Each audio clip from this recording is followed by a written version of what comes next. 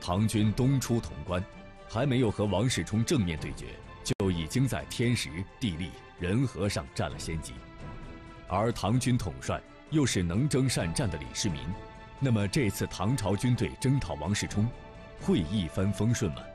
请继续收看，陕西师范大学于耕哲教授做客百家讲坛，为您精彩讲述《隋唐风云》第二十一集：出征洛阳。唐军从潼关以东到了洛阳城城下，王世充想挫敌锐气，于是他率领军队也是倾巢而出，双方隔着一条溪水，摆开阵型进行对峙。这个时候，王世充出来进行阵前的喊话。这两个人的对话，这番对话挺有意思的，我们来分析一下啊。这个王世充对李世民是这么说的：“他说，隋末丧乱，群雄逐鹿，李唐。”还有我的正政权，各有分野，对吧？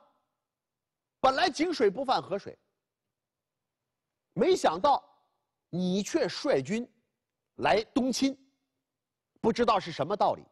现在你来究竟是何目的啊？而且你啊，这个劳师远征，千里运粮，可以成功吗？王世充是这样的一番话。你看王世充这个话的语调，这个。这个语气啊，两层含义。一个，他那个心理完全是割据军阀对割据军阀的那种心理。他这番讲话的核心意思就是希望你我双方相安无事，对吧？井水不犯河水，这样是最好的。第二层意思呢，你看他后面还有点教训秦王李世民的那个架势。你要知道，秦王李世民那阵儿不过是个二十多岁的年轻人。啊，王世充觉得自己啊，那是一员老将，因此王世充啊，还有点教训小孩子的意思来。这个时候，秦王李世民朗声回答：“你要知道，秦王李世民这番话，你看一下，他这个口气啊，那就跟王世充是大不一样。李世民完全是以皇帝特使、皇帝大使的那种心态，居高临下教训这个王世充。”李世民是这么回答的：“说，现在全天下都承认我唐为正朔，只有你王世充冥顽不灵，阻碍生教。现在东都人民都在翘首以待王师的到来，所以我现在劝告你，早早投降，尚可保存性命。你看。”李世民的这番喊话，那完全是居高临下，吊民伐罪，就这个意思。所以说实话，他们两个人呢，你你应该可以看得出，他们两个人这个说说话的心态不一样。王世充说话其实缺胆气，缺自信，而李世民能看得出信心满满。所以说，从这时候大概胜负关系。从这番讲话当中，我们已经能够看出一些端倪。但是，在战役正式实施之初，李世民呐还是很谨慎的，不是说我有胆气我就猛打猛冲，不是这样。作战谨慎，这是李世民一生的一个特点，尤其对待王世充更需要谨慎。因为什么呢？第一，王世充的兵力也不算少；第二，王世充也是在战场上摸爬滚打这么多年打出来的，这个人连瓦岗军都可以战胜。岂能小事？所以，李世民采取的策略是什么呢？将大营驻扎下来之后，李世民将自己的军队分出了很多股小部队，让他们不断的在洛阳城的外围四处去进行袭扰。而且呢，这种袭扰有个啥好处呢？到处去刺探一下军情，能够找到敌人的薄弱之处。事实证明，他的谨慎很有必要。王世充再说日薄西山，那也是一个垂死的老虎，那最后的力量还是有的。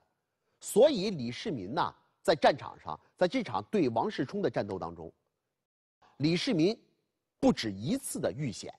要说李世民这人也有意思，他这一生在战场上多次历险，但是就是在这场洛阳战役当中，他遇险的次数是最多的，而且相当相当的这个。危险，比方说，这个，呃，有一次，他要与这个王世充的军队进行对战。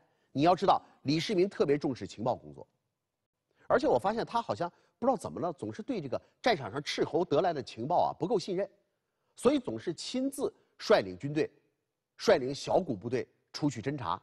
结果这一次，他呢又带领人去侦查，但是这次格外的惊险。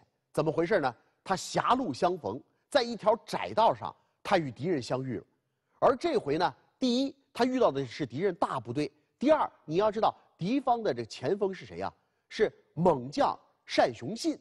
所以这一这一仗啊，非常的这个危险。李世民的部下拼死的抵抗，边打边退，但是很快就有一种力不能支的这个感觉。而李世民则镇静自若，他让手下人说：“你们先撤，我来断后。”然后他拿起弓箭，弯弓搭箭就射过去，连发连中，结果敌人呢一时之间被吓住了。但是过了一会儿，然后又重新纠集起来，继续猛扑过来。最后，李世民就这样且战且退，终于算是逃脱了敌人的魔爪，而且呢还生擒了敌人将领一人。此时又传来了一个消息，就是襄阳一带也投降了李唐，而且呢。王世充的魏州刺史石德瑞，率领着启州、夏州、陈州也投降李唐了，这些都是些很好的这个利好关系，而李世民也加紧了对洛阳城的围攻，这个包围圈啊越来越小，但也就在这个过程当中，他又遇险了。哎呀，李世民呐，作战太勇猛，经常身先士卒，所以呢，他这个遇险呢，简直成了这个家常便饭了。这一次，这个遇险地点在哪儿呢？在洛阳的这个北邙山上，他当时登上了北魏宣武帝景陵。那个地方是个制高点他登上那儿去之后，瞭望敌阵，也就在这个过程当中，你要知道，你站得高望得远，那人家也看你也看得清楚啊。所以，王世充啊，敏锐地判断出，在那上面的一定是唐军的重要人物，所以他就率领着军队出来。想围捕这些唐军，带头的又是单雄信，结果这回好，敌军行动相当迅速，竟然就把李世民一行啊团团的就给包围住了。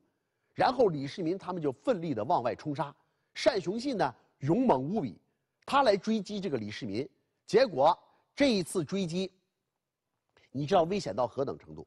单雄信从骑着马从后面追这个李世民，追上了之后。用那个槊来刺李世民，那个槊尖儿啊，已经距离李世民的背后啊，怎么说呢？几乎都已经马上就顶上了。也就在这个关键的时刻，尉迟敬德从斜刺里冲杀了出来，一矛就刺伤了这个单雄信。单雄信受伤，敌军稍稍的就往后撤。那么尉迟敬德护着这个李世民就往后退。这个时候。唐军屈突通率领着唐军主力部队赶了上来，然后尉迟敬德把李世民安顿好之后，尉迟敬德和屈突通反过身来，冲入敌阵，这下子敌人大败，被斩首上千人，而且呢，在战场上还俘虏了王世充手下的排槊兵六千多人，敌人有一个大将叫陈志略也被俘了，哎呀。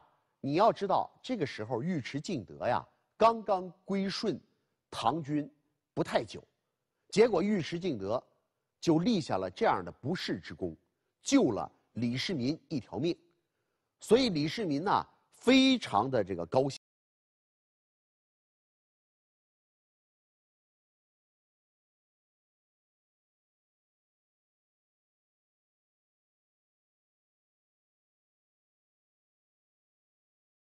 得赠了一切金银，一切就相当于我们说这这一筐啊，一筐金银。